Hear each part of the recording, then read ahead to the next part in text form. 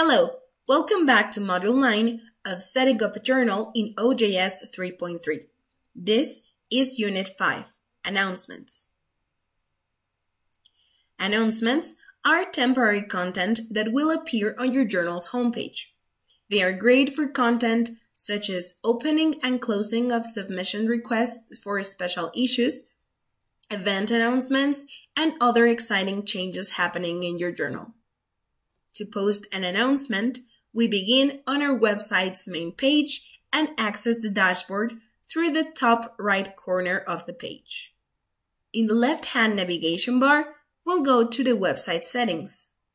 If we go to the second tab, Setup, we can see that we have already covered information, languages, and navigation in the last units. Now, we're going to work in the fourth tab of this section, Announcements. The first thing that we have to do is to enable announcements. To do this, we'll just click on the box. This will display a new form where we can set up our announcements preferences.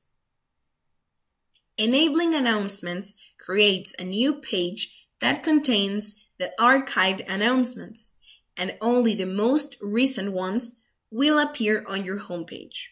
If you have any information about announcements that you would like to have displayed on your announcement page, such as, for example, information on who to contact with questions, you can enter it into the introduction box. Then we can choose how many announcements do we want to display on the homepage. If we don't want to display any announcements, we can leave this empty. For this example, we'll set 1.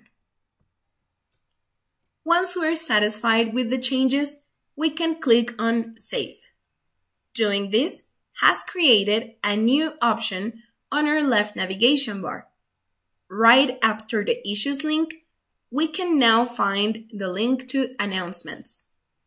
Clicking on it will take us to the list of all the announcements published in our journal. If you'd like to add index and control to your announcements, you can use the announcement type feature to create type classes. Let's go to the announcement types tab. Here, we can create new announcement types by clicking on the button on the right corner of the box. Doing this will open a pop-up window where we can set the announcement type's name. Once we're ready, we can save. And now our new announcement type will be featured on the list. If we want to edit this announcement type, we can click on the little blue triangle to show the options Edit and Remove. If we want to create a new announcement, we can go to the Announcements tab and then click on the Add Announcement button.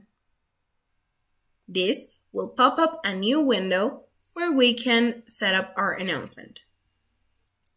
First, we'll need a title for our announcement. After that, we can add in a short description. This is the content that will appear with the title on your main page and on your archived announcements page. Then, we can fill in the full text of our announcement. This will only be visible after the reader clicks on the announcement. The short description will not appear in the description text after a reader clicks through.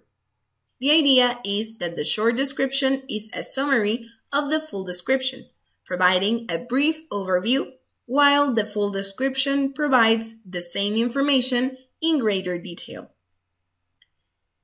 If you want an announcement to be posted for a limited time, you can go to the expiry date and set an end date for the announcement.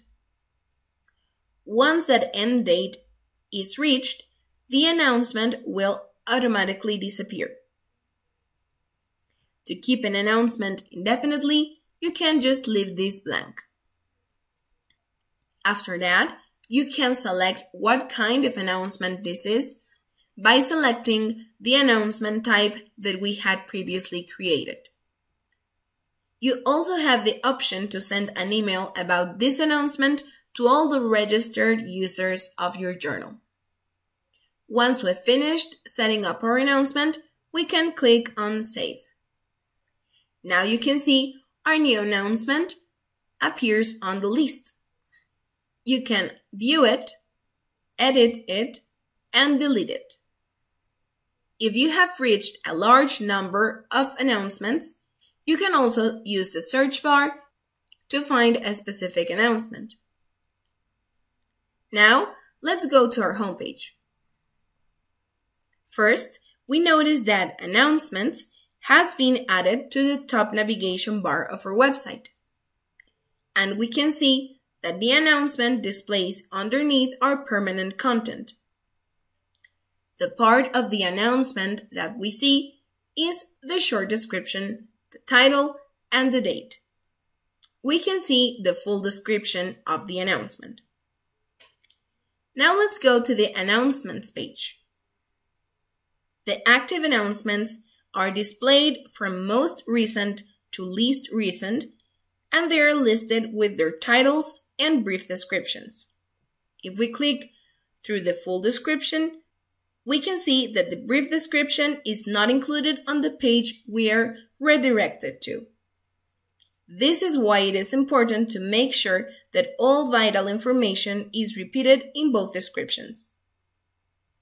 And with that, we conclude Unit 5 of Module 9. Thanks for watching, and I'll see you again in the next unit.